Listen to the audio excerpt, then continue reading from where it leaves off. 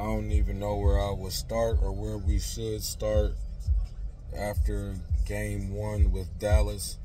Y'all going to uh, delete the videos that I posted about us whooping Dallas before this game. I don't even know if I want to be a Browns fan no more after this shit. Um, Dallas came here as a team, not just an NFL team, but as fans, and put on for they city in Cleveland. It looked like Cleveland just was happy to have a football game, and I'm talking about the people on the field and the fans.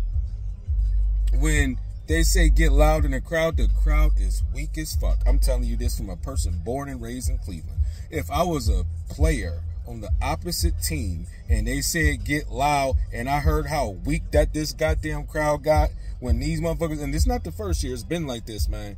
Every time they say get loud, man, it's just like maybe like 20% of people can understand what the goddamn man says when he says get loud. Cleveland don't respect that.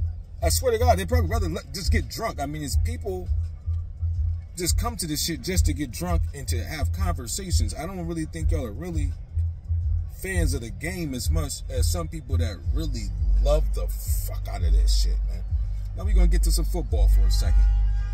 Deshaun Watson, I ain't gonna put this on him. I ain't even get to watch the goddamn game. But what I do know this, they ain't practice at all. I told y'all this, look back in the videos. I told y'all this weeks ago. I don't know what happened in Greenbrier, but that shit ain't working. Cut it the fuck out and kick it out of that goddamn playbook like everything else you put in there, Ken Dorsey, Kevin Stefanski, and every fucking body else that created this shit that got y'all only like six fucking points today. Horrible. Amari Cooper did not look like a fucking wide receiver today. I don't know what kind of plays are drew up, and everybody know. No, no, no, no, no.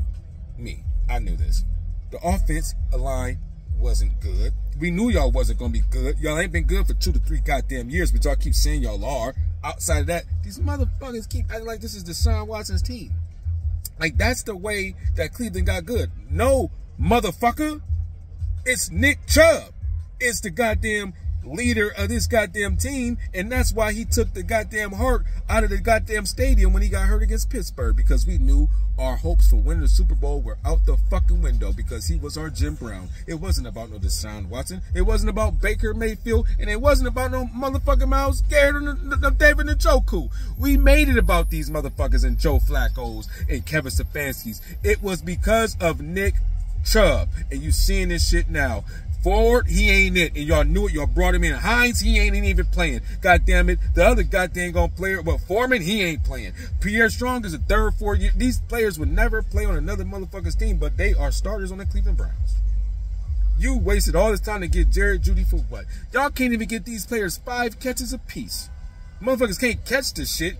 As usual, Elijah Moore dropping shit. As usual, Njoku dropping shit. As usual, Myles Garrett, where the fuck were you at today? Za'Darius Smiths, the Thomasons, all you motherfuckers. The goddamn what's number 21 getting burnt. I mean, God, y'all talk so much shit. Y'all might as well start a podcast. Oh, some of y'all already did.